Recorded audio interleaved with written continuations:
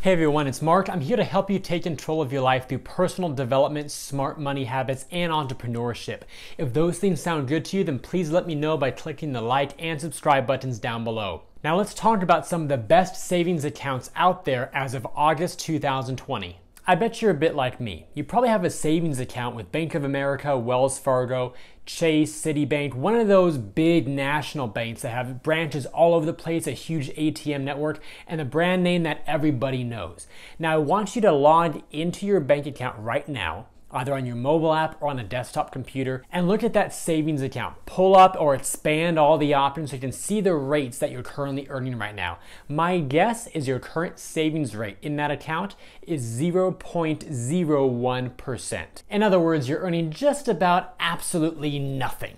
If you put $10 in that savings account and you wait a while, it's still $10. If you put $100 in that same account and you wait a while, it's still $100. And if you wait long enough, your buying power with that 10 or $100 actually goes down over time. So it ought to be worth a little bit less in terms of what you can do with it down the road. Here's the thing any bank that gives you a savings account of one one hundredth of 1% per year is basically like doing nothing for you at all. They market it as a savings account, but the savings accounts of today are not like they were 10, 20, or 30 years ago. But of course, their marketing teams would never want to put the slogan of loser's account on their website. In fact, according to the FDIC, the national average savings account rate right now is 0.06%. So the savings rates of all those big multinational banks are actually less than just the average savings rate. So, in other words, we're getting a really, really bad deal. I mean, it's so bad, it's literally like burning money.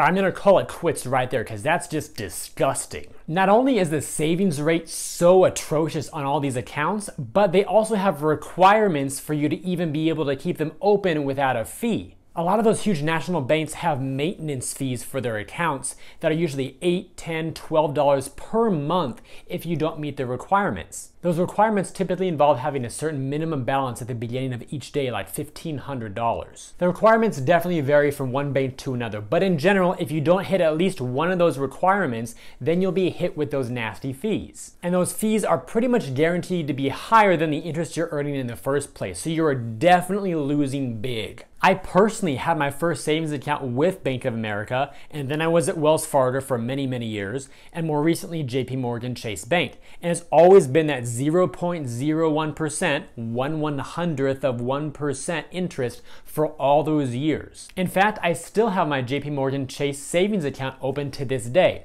But there's a big difference now. The majority of my money is no longer kept in there. I've moved it to something else. And that something else is called a high yield savings account. And it is exactly what it sounds like. It's a savings account with a much higher interest rate. A lot of the banks that offer a high yield savings account product are typically banks that are more digital focused or entirely digital. And the reason why that's so great is because there's a lot less overhead that they have to deal with. They don't really have much of an ATM network, if at all. They don't have the branch system and all the employees to run those branches. So when you have fewer people, fewer branches, fewer ATMs, and all this stuff that normally costs a bank tons of money to maintain and operate every single year, they can save millions of dollars on all those overhead costs which means they can pass on a part of those savings to us on the consumer end in the form of a higher interest rate. Now, there are a lot of high yield savings accounts and even checking accounts out there right now. I could make this list easily the top 50 accounts that we're gonna go over right now. To keep things simple, we're just gonna talk about the five best ones from my perspective that are very easy to use, no fees to worry about on a monthly or quarterly basis, no terrible interest rates to where you feel like you're being robbed of your money, no minimum balance requirements, no direct deposit requirements, no fees whatsoever. You've got some money, you wanna go put it somewhere and keep it there for a while until you have a better plan for it. Now, if you go back just four or five months to earlier this year, a lot of these rates were a lot higher, some of them almost close to double the rate.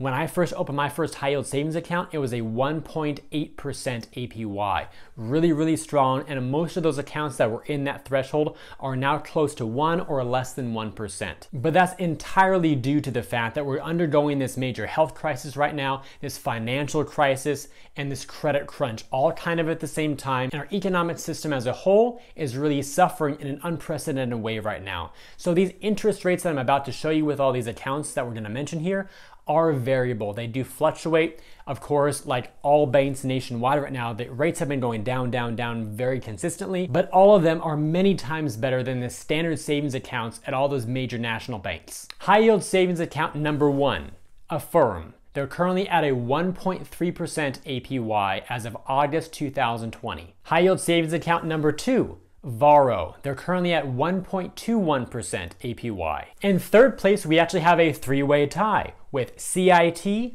Ally, and American Express.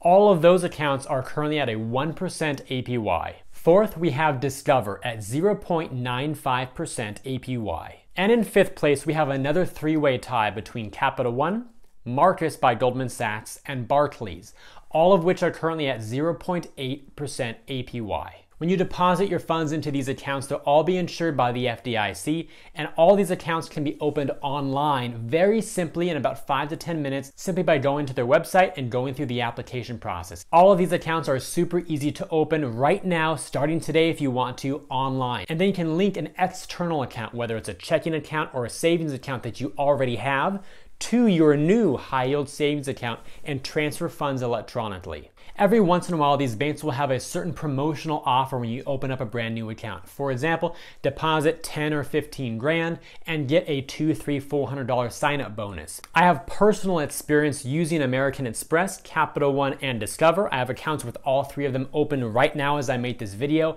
and the experience has been fantastic. They've all been great, easy to use. The customer service has been great as well. And one of the cool little features about the Capital One app is you can log in every single day and look at the interest that you've earned month to date. And it will go up every single day. So whether it's the first of the month, the second, the third, you can actually watch your balance increase as you earn interest. It's just kind of a fun way to actually see your progress. Like you, I really hope to see these rates rebound to 1.2, 1.4, 1.6, 1.8, 2% plus as time goes on and our economy starts to rebound to a natural healthy state again.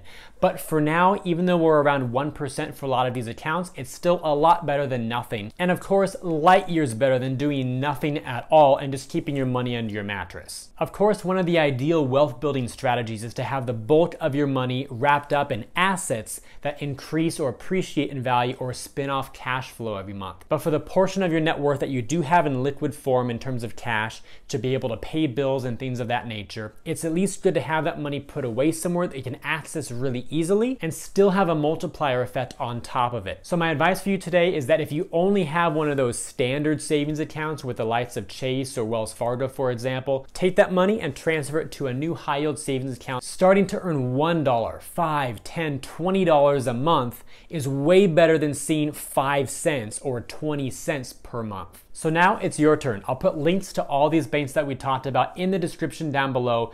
Find one that you like, click on the link and go ahead and open up your first high yield savings account and transfer your initial funds there. If you enjoyed this video and believe it could benefit others, then please help me get it in front of more people by liking this video, subscribing to the channel, and turning on notifications. I'd also love to know which high yield savings account you're currently using, or if you haven't used one yet, which one looks best to you. Let me know in those comments down below. I'll see you all again soon, and remember, you are great.